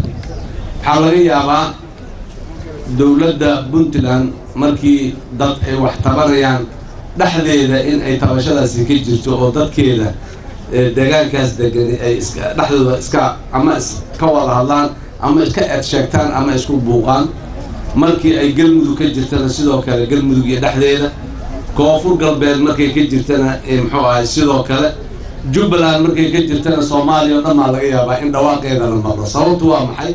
Ma aha in jubbaland iyo dadka degan iyo la necab yaha ma aha. Dadka soomaaliyeed oo dhammaa ku dhan jubbaland. Macnaheedu waa taas. Dadkii soomaaliyeed meel kastoo ay joogaan dalka gudihiisa iyo xuduudaha bannaankooda. Intaba soomaalidu meel kastoo ay ku nooshahay waxaa haddana ay joogtaa oo ay degan tahay deegaanada dowladdan jubbaland ay ka jirto. Marka waa sababtaa sababta aanay haddii tabasha ay jirto iyo haddii ay buuq jira haddii dacwo jirtahay waxa aanay jubbaland iyo degaankeeda bas aanay u imaanin taasi marka in ay ceeb iyo cillo tahay ma ahane waa wanaag waa wanaag. Waa waxay tilmaamtay awood iyo xoog ayay tilmaamay. In soomaaliya jubbaland in ay tahay soomaaliya oo aanay waxba soomaaliya oo dhan ku dhan tahay soomaaliyana ay tahay. Marka waxaan rabnaa dal dhismaayo dowladnimo dhismayso waaye isna cayb ma jiro. Colaaddii sokeeye soomaaliya way ka dhammaatay dagaal sokeeyo dambe iyo qabqablo dambe iyo muxuu ahay hogaamiye kooxeed iyo dagaal ooga dambe iyo soomaaliya maanta. Ma ka soo noqonayaan haddii alla yidhaahdo way ka dhammaatay. Fowdadii iyo wixii dagaalada sokeeye ayna dhaxalsiiyeen way dhammaatay ayadana. Laakiin waxa socdahay waa siyaasad. Siyaasad weliba aan dhahnay waa inay dimuqraadi ahaataa aan dhahnay markaan saas dhahnay marka dimuqraadiyaddana waa ogtihiin meel kasta caalamka boqolaal maxaan ku raha sano soo ahaa dimuqraadiga ayaad dhexdiisa arkaysaan. Dowladdii baa la xiray xafiisyadeed baa la xiray waxbaa inta laga keenay xagga laga marka dowladnimada siyaasadda dowladnimada ee dimuqraadiyadda ah ayaa marmarka qaarkood u ekaan karta in ay buuq iyo fawdo iyo cadaawad iyo magaciisi ay jiraan laakiin waxaa dhabta waxay tahay waan ka nimiday xilligii markaan kala ra'yi duwanaana aan isdili jirnay waan ka nimiday waan kala ra'yi duwanaanaynaa waan maxaan ku raha wada hadlaynaa marka dambena waan heshiinaynaa haddii aan la yidhaahdo waan wada hadlaynaa mana isdilayno mana isdhibsanayno laakiin waa wada hadla hadalkeenna iyo dagaalkeenna siyaasiga ah maanta sida uu muxuu ahay madaxweyne axmed madoobe uu tilmaamayey wuxuu joogaa oon ka sheeganaynaa oo aniguna aan codkayga ku kabayo kiisa aan leeyahay waa laga habooyayaan iyada waa midka miidiya saxaafadda. Dagaalka saxaafaddu nooga soo haray hadda madaafiic iyo maxaanku yidhaahdaye bambooyin noogama soo harin wuxuu ku soo haray saxaafadda. Saxaafadda keedana waa ka gudbaynaa haddii ala yidhaha marna waa ka gudbaynaa waxaan rabaa waxa aan ka shaqaynaynaa waa dowlad dhisid waa siyaasad tabashay leedahay rabitaanay leedahay maxaan ku raha cabashay qabtaa cabsiyay leedahay farxaday leedahay laakiin wax kasta oo ay leedahayba meesha waxaasi ay leeyihiin in looga hadlo ay ku habboon tahay ha looga hadlo. Haddii siyaasadda jubbaland laga hadlayo waa in looga hadlaa hay'adaheeda dhexdooda waa in looga hadlaa. Baarlamaanka jubbaland waa in looga hadlaa. Xukuumadda jubbaland dhexdeeda waa in looga hadlaa. Bulshada rayidka iyo meelaha ay leedahay waa in looga hadlaa. Ayadoo mar walba mawduuca laga hadlaya midaa jira baarlamaanka inuuna soo dhaafin ay tahay. Albaabka baarlamaanka banaankiisa inuu yimaado dood inay timaado aanay sax ahaynaa jirta. Mid xafiisyada iyo kulamada xukuumadda dhexdeeda iyo wasiirada marka ay fadhiyaan in laga doodo oo si kurul looga doodo faraan isku rafiiqo ay tahay. Laakiin albaabkaas golaha wasiirada meesha ay fadhiyaan in aanay ka bixin inay ay tahay. Mid baa maxaan ku raha madallada bulshada rayidka ay leedahay iyo soo gaarayo oo meesha in looga hadlay tahay. Marka taas waaye midda naga maqan waxaan leenahay aan gaarno wax walba magaca ay leeyihiin aan u bixinno meesha ay leeyihiin aan uga hadalno waa ku raacsanahay saxaafadda ka hadlidda iyo warka saxaafadda la geliyaahi. In badan oo ka mid ahay ma fiicno qofka siyaasiga ee mas'uulka ee hogaamiyaha ana waxaa laga rabaa dhagaha dadkana in uu wax fiican uu maqashiiyo rajo leh mid adduunye iyo mid aakhira. Intaba indhaha dadkana inuu wax fiican tuso. Laakiin waxaa dadka kala qaybinayo cogdada kala gelinayo sii kala waxaynayo in uu la soo istaago meel babliga uu ka yidhaahdahay sax ma ah. Waxaa intoo kale ah waa tii uu ilaahay caza wajalla uu nooga digay fain jaa'akum faasiqun binaba'in fatabayanu qof inta kuu yimaado inuu ku yidhaahdo hebel sidaasuu kulaa mogtahay adiguna tiraa maasaa sidaa ay dhihi karo ama hebel baa hebel sidaa ahaa. War waxaa la lahaa hebel sidaasuu lahaa aad sii wado aad sii waxayso wuxuna ay wax xun yihiin. Wax fiican hadday yihiin waad sii wadi kartaa. Wax dadka isku soo jiidaya hadday yihiin waad sii wadi kartaa. Wax maxaan ku idhahdaa dhib inuu dhaca hor istaagaya haddii waad sii wada laakiin wax dadkii cogdad kala gelinaya canaanyo kala gelinaya maxaan ku idhahdaa qofkii uu warba maba mabaan ka filayna sidee waxaas u dhacen uu isdhihi karahay? Inaad sii tebiso ood sii sheegtahay wax maslaxada kuma jiraan. Marka wararka iyo u kala waranka iyo waxaana soo gaarayo haddii aan nahay mas'uuliyiin iyo shacabba. Waxaan u baahannahay in aan u noqono dhahno fatabayanuu warwarkan xaggee laga keenay yaa yiri kaalay iraac meeshii laga yiri isla tegaynahay waa leenahay warkaan maxaa maxaa maxaa kaa yeersiiyey yaan leenahay aan israacna laakiin haddii aan halkayga muxuu ahay daabkayga garabka intaan saarto aan qofkaan ku dhufa lahaa aan la jirin ama aniguna idaacadda aan tago oo xagga aan ka sii dhaco oo meel kale aan geeyo wuxun baan ku sii deernay waxba maynaan hagaajin. Taas waa qodob qodobka labaad oo guud ahaan dadka soomaaliyeed meel kastoo ay joogaan iyo maamulada dowladaha heer dowlad goboleedyada dalka maanta ka hana qaaday ee bilowgii federaalkii aan ku ballanno ummadda soomaaliya ay ku heshisay ay tahay waxaan leenahay annaga waxaa mas'uuliyaddana saaran ay tahay dadka in aan farqahooda isku xirno maaha. Oo maradiisa marada kale ku xidhno oon xarigga kan intaan gacanta uga xirno kaas kalena xarigga gacanta kale uga sii maaha. Dadka quluubtooda inaan isku xirnaana laga rabaa. Dadka quluubtooda inaan isku quluubtooda sida isku xiri karna waxay tahay waxun inaanan isaga sheegin. Waa laga yaabaa aniga iyo axmed inaan muxuu ahay isku buuqno wax ku kala duwanaano. Aniga iyo cabdiweli caligaas aniga iyo cabdikariim aniga iyo maxaanku yidhahdaa sheekh xasan aniga iyo cumar cabdirashiid oo barnaamijka iyo qof kastoo kaloo mas'uula. Laakiin warkaas iyo waxaan isu qabnay wax isdhihideen waa in ay annaga nagu ekaataa ama meelihii loogu talagalay ay ku ekaataa. Laakiin inaan inta idaacadda anigu soo istaagay madaxweynaha jamhuuriyadda anu ah aan idhaha madaxweynaha dowlad dowladdaasi dowlad goboleedkaasi waa qariban yahay waa saas saasoo mana yeeli kara sidaas mana ka dhici karo. Oo waa sidaa yidhahdo sida macquul maa wanaag ku gaari mayno dagaalkiina hadda meeshaasuu ku soo haray meelihii kaloo dhan waa ka soo dhammaaday.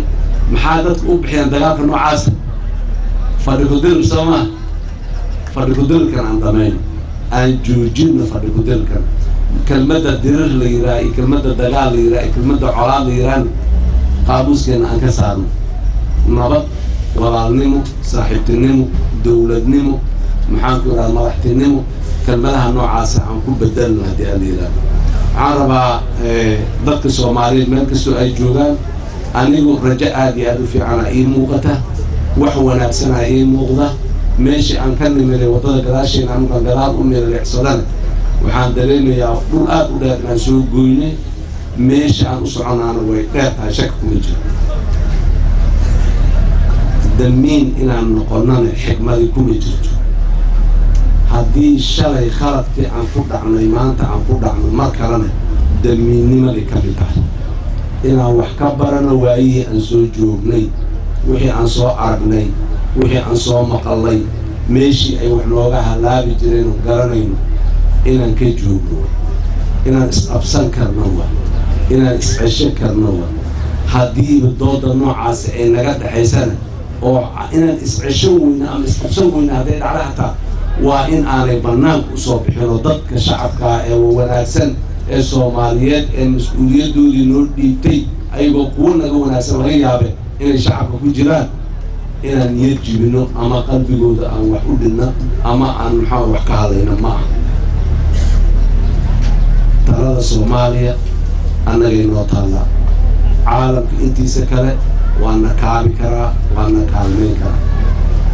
Ciidanka waa nalaga kaalmayn karaa. Hub badan waa nala siin karaa.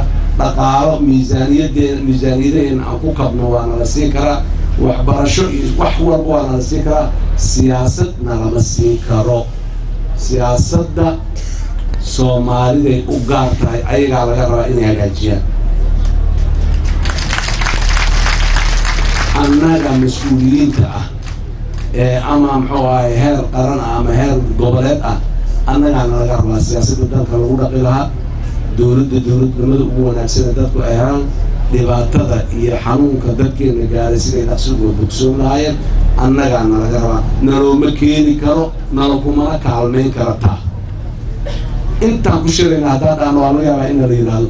Qadadaan maanta idinka bixinayna dad baan rabnaa soomaaliyeed inaan hebel ka keensan haddii aan dhaano waa laga yaabaa tigidhadaan idinkaga bixinayna ama dayaaradaan idinkugu dirayna idin keento dadka in lagu kaalmeeyo waa laga yaabaa. Laakiin inaan isjeclaano oo aan isfahamno oo aan wax wada lahaano cidna sii karta male annaga oo keliya is sii karno waxaan rabnaa shacabka soomaaliyeed meel kastuu joogo fursaddan wanaagsan iyo maalintan wanaagsan ee kismaayo aan joognay aan caleemasaarayna madaxweynaha muxuu ahay jubbaland inaan uga faa'iidaysto dadka soomaaliyeed sidii uu madaxweynuhu jubbaland markuu qudbiis ku joogyada hala iscafiyo halan la isku dul qaato. Hanaa maxaan ku idhaahdaay ummadda mas'uuliyadda inoo dhiibtayna sida ay tahay inaan u wajahno aan ku dhiiranno haddii aan la yihahdo ku dhiiranaansho dheeri ah ayay naga rabtaa aan ku dhiiranaano mar kale fursaddan waxaan rabaa inaan uga faa'iidaysto dowladaha saaxiibada soomaaliya ee ay ugu horeeyaan kuwa gobolka khaasatan maxaan ku idhahday xuduudda nala leh dowladda kenya dowladda ethoobiya dowladda jabuuti oo dhammaantoodna wiilashooda halkan u soo diray in ay soomaaliya nabad ka gaaraan. Bes halka ujeedda tahay soomaaliya oo nabad ah inay soo noqoto. Bes laakiin wax mucaamalaan wiilashoodii halkan ku dhintay waa ku dhaawacmeen waa ku curyaameen ilmo badan oo dalkoodii joogaa ku agoontoobay waxaase qiimaha ay ku bedelanayeen waxay ahayd soomaaliyoo nabad ah iyo soomaaliyoo dowlad ah.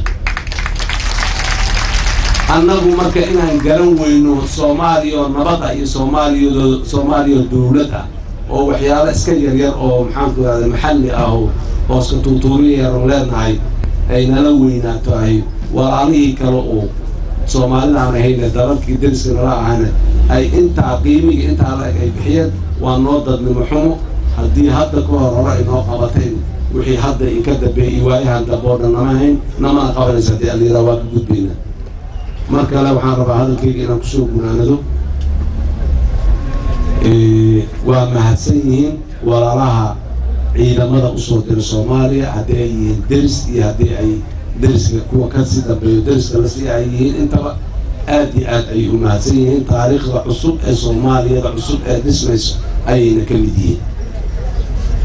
Maalin maalmaha ka mid ana waan gaaraynaa dalkii soomaaliya oo nabad ah oo ayagana intaan maxaan ku ihahday ubax aan siina aan dhahno waa mahadsantihiin walaalayaal marka guryihiinni ku sama noqda aan dhahno waan gaaraynaa maalintaas mana dheera way dhowda haddii alayira marka intaa uga baxo mar kale shacabka soomaaliyeed waxaan leeyahay hambalyo dhammaan maamul cusub oo maxaanku idhahday hoggaan hoggaankiisii mar kale mandate cusub qaatay. Ayaa nagu soo kordhay noo yimiday annaguna aan u nimida maanta ku soo safarnay. Dabcan waanan kala soo maanta meeshaan in la yimaadaahi waa laga soo wada shaqeeyey. Dadka reer jumbaland ayaa karedhidka iska leh laakiin soomaalida inteeda kaloo dhan karedhiday leeyihiin waxbay ku leeyihiin. Maanta in meeshaan la soo gaaro. Waan ka soo wada shaqaynay. Wixii ka sokeeyay dee waxaa la yidhi xigmadii ahayday laba dhaxal isku haysato. Maxay lama yiraa maxaa isu tihiin lama yiraa dhaxalayba isku haystaan soo maxaa isu tihiin marka lama yiraa inay walaaliyiin inay daliil u tahay dhaxalkiina waa isku haystaan? Haddii dad isqooqoomay iyo dad meelaha iskala hadla la arkay waxaa la isku haya waa dhaxalkii. Ayadana muxuu ahay si wanaagsan oo aad iyo aad u qurux badanay ku dhammaanaysaa. Waanay ku soo dhammaatay wixii dhimanna waa la dhammaystirayaa. Dib heshiisiintuna sidii uu u sheegay madaxweyne axmed waa furan tahay waa socotaa. Jubbaland ay ka furan tahay ka socotaa. Soomaaliya oo dhamay ka furan tahay dib heshiisiintu ay ka socotaa oo aanu la gaarin waqtigay dhammaan lahayd sannado badan oo soo socdana waqti badanaan geli doonaa dib heshiisiinta. Dadka soomaaliyeed waxaan rabaa hal mid oo ugu dambayso le waxay tahay war dalka dowladnimaa ka jirta kaan hana qaaday waanay xoogaysanaysaay aan aaminno dowladnimadaas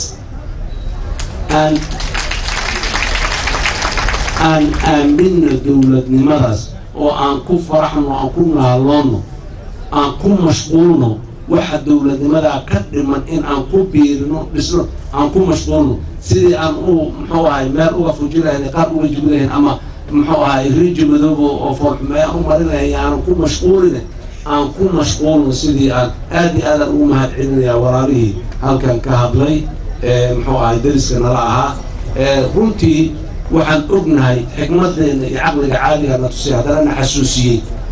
Ee yidhi waktiguna yaanu idinka dhumin wuxuuna wakti noomaal dowladda aniga aan madaxweynaha ka ahay waktigeedii waa soo dhammaanaya shalay shacabka soomaaliyeed iyagaa i doortay oo meesha i keenay aniguna maanta waxaan u taaganahay shacabka inay fursad kala helaan oo qofkay rabaan ay ku doortaan.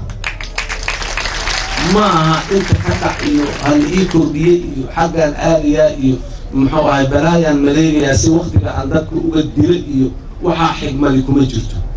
Shacabka haddaan nahay madaxweyne iyo haddii aan leenahay baarlamaan intaba ayagaa shalayna doortay khiyaarkooda nagu doorteen qoryamaynaan sidan iyo madaafiic xoogna kumaanan qabsan. Maantana waxaan rabnaa khiyaarkooda haddana inay wax ku doortaan ama annaga hana doorteen ama kuwo kaloo qeyrkeenu soomaali ah oo naga fiican ha doorteen.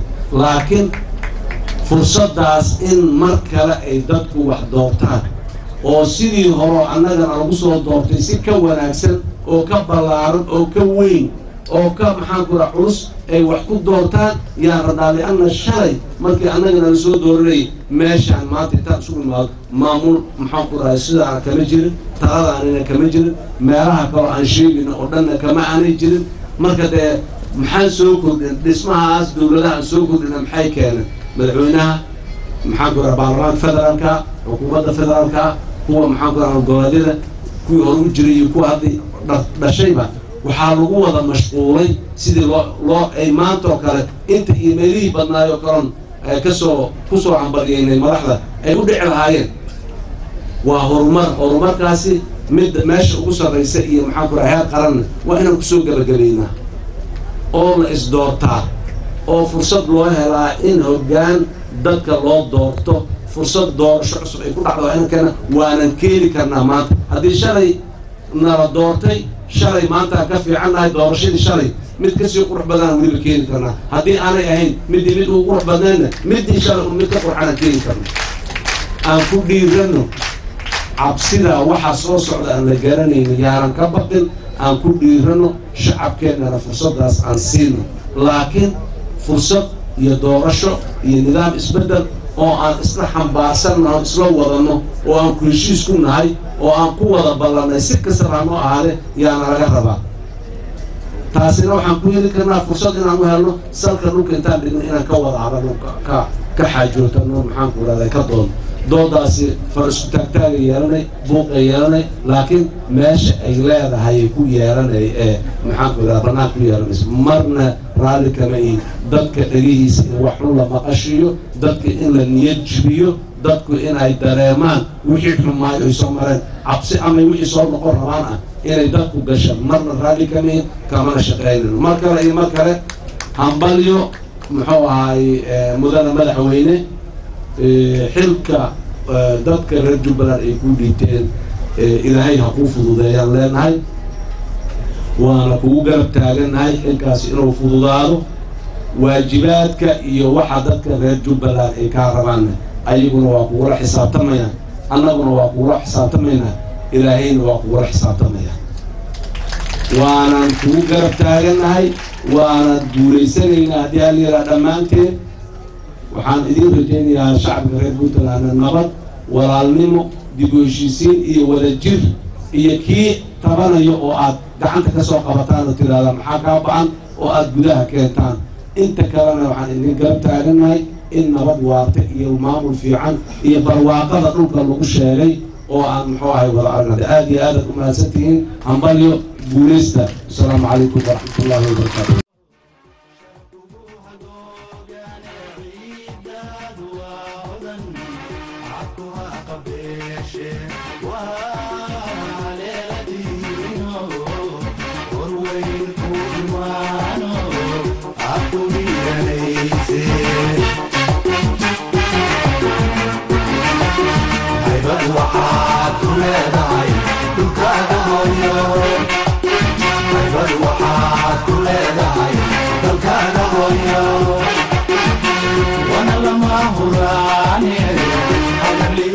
ugu qabo wana lama hugaanyaye ahalii wax ugu qabo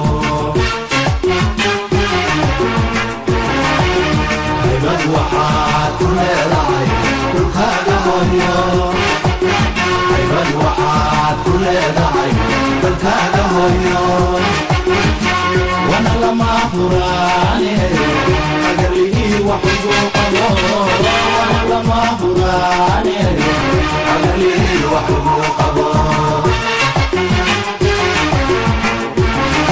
عن معان ومنان هوي لقى هراني اليوم عن معان ومنان هوي لقى هراني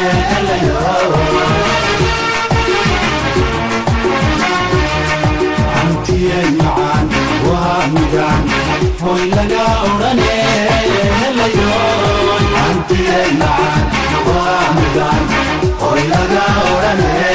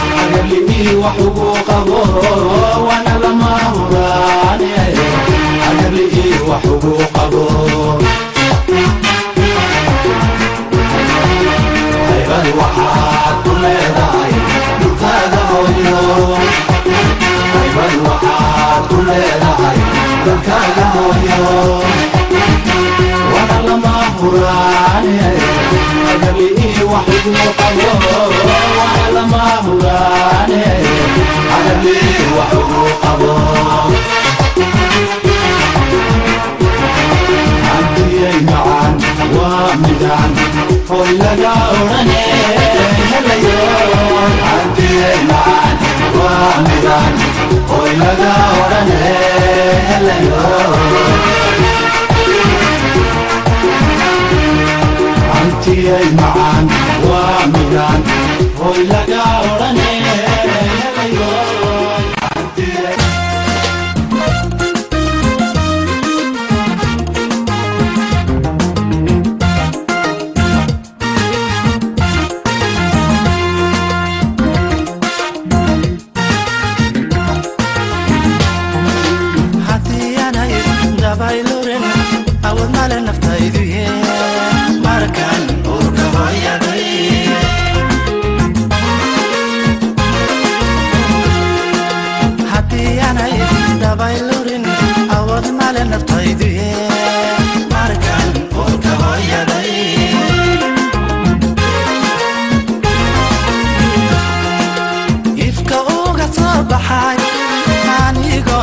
agora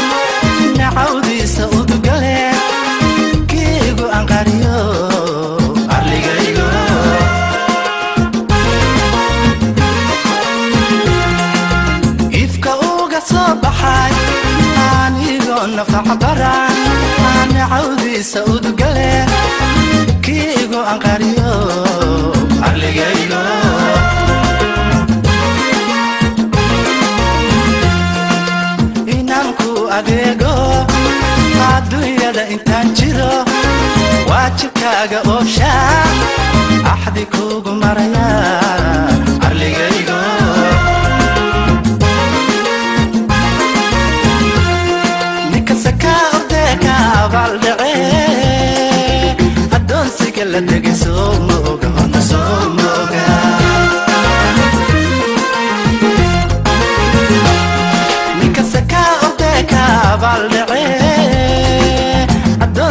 la tege soo mooga hunta soo mooga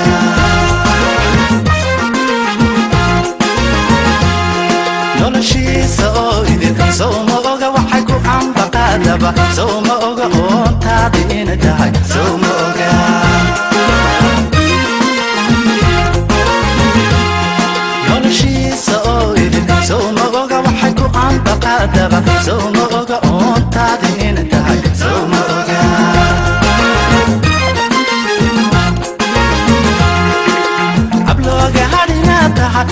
sawmooga dhaxala waa wayla tahay sawmooga isagu inuu ku leeyahay sawmooga